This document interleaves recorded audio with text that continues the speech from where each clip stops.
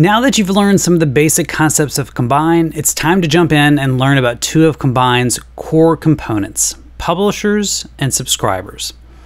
At the heart of Combine is the publisher. It publishes or emits events that can include values of interest.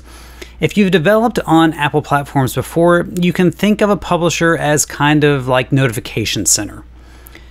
What observes a publisher in Combine is referred to as a subscriber.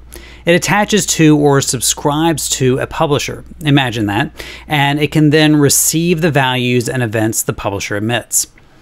The whole process goes like this A subscriber indicates that it wants to subscribe to a publisher. The publisher then issues a subscription to the subscriber.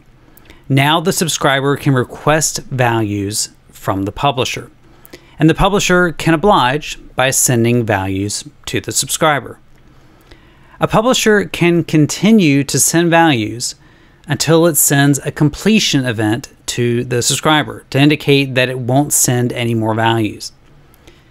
This is called a marble diagram, and the vertical bar represents a normal I'm finished completion event. A publisher can also complete with a failure event, which is shown as a red X in a marble diagram. Just remember that once a publisher emits a completion event, it's done and can no longer emit any more values or another completion event. The requirements of a publisher and subscriber are defined in protocols. Here's the publisher protocol and one of its most crucial extensions. The publisher protocol defines an output associated type for the types of values a publisher will produce and an associated type for the type of error it may emit, or never, if it's guaranteed to never emit an error.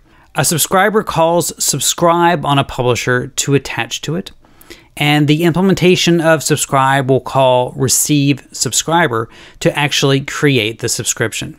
Notice that subscribe and receive must line up the subscriber output and error types. So that takes care of the publisher. Now let's take a look at the subscriber protocol. It defines an input associated type for the type of values the subscriber will receive, and this type must match the output from the publisher. It also defines a failure type or never if there can't be errors, just like in the publisher protocol. If there is a failure type, it must match the publisher's failure type. The publisher calls receive subscription on the subscriber to give it the subscription and the publisher calls receive on the subscriber to send it a new value. When it's done, the publisher calls receive completion on the subscriber to tell it that it has finished producing values either normally or due to an error. The curious of you may be wondering about that custom combine identifier convertible. This is just a protocol that defines a combine identifier requirement, which is used to uniquely identify each publisher stream along with the default implementation. There's one more protocol to take a look at for now. Don't worry, it's a short one. The subscription protocol defines the connection between the publisher and the subscriber. A subscriber calls request to indicate it's willing to receive more values up to a max number, or it can specify that it's willing to receive an unlimited number of values. This concept of a subscriber stating how many values it's willing to receive is known as back pressure management. Without it, a subscriber could get flooded with more values from the publisher than it can handle, and this can lead to problems. You'll learn more about managing back pressure in a later episode. So, what's up with that cancelable in the protocol definition? Cancelable defines just a single method cancel. Subscriptions return a cancelable type as a cancellation token and can manually call cancel on it to cancel the subscription. That's a lot to take in, so no worries if all this doesn't make total sense just yet. It soon will. How about jumping into some code? Here in the beginning playground for this episode, there are two things already defined for you a subscription set. This is where you'll store your subscriptions. Notice that it's a set of any cancelable. Any cancelable is just a concrete implementation of the cancelable protocol. You learned a moment ago that you can manually call cancel on a subscription to cancel it. However, you can also add these tokens to a collection and they'll be automatically canceled when that collection is about to be deallocated.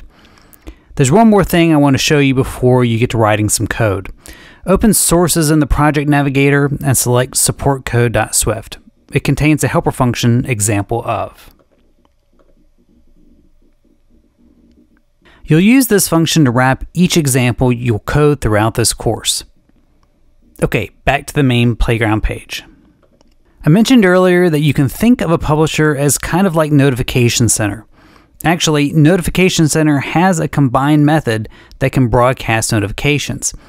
To see this in action, add a new example to your playground. First, you get a handle to the default Notification Center, then create a notification name and a publisher for your notification.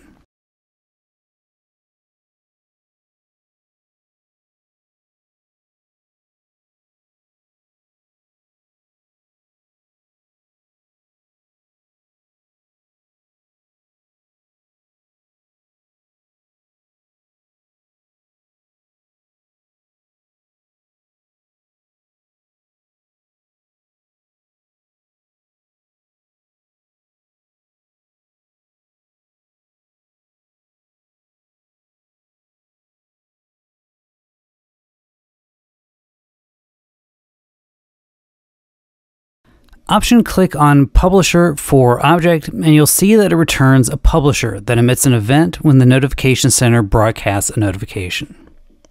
So, what's the point of publishing notifications when a notification center is already capable of broadcasting its notifications without a publisher? Glad you asked. You can think of these types of methods as a bridge from the old to the new, a way to combinify existing APIs such as Notification Center. Okay, let's finish off this example. First, create a subscription to the publisher, then post a notification, and finally cancel the subscription.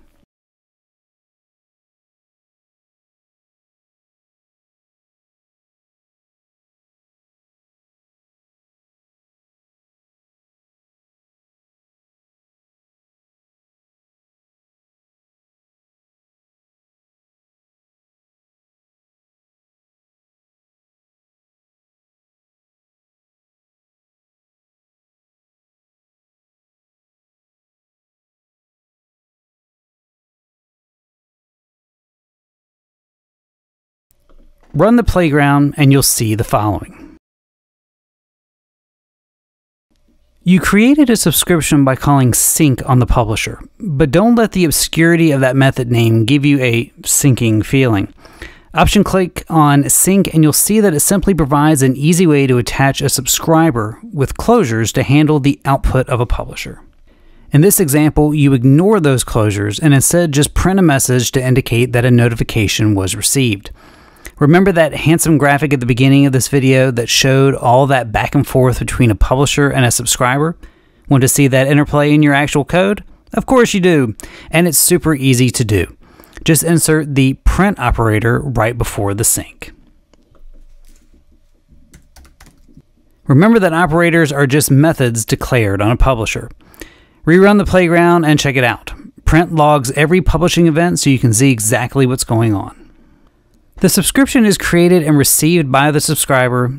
It requests unlimited values. It receives the notification and prints out the message, and then the subscription is canceled. Pretty cool, right? So, about that unlimited bit, the sink operator will continue to receive as many values as the publisher emits. This is known as unlimited demand, which you'll learn more about shortly.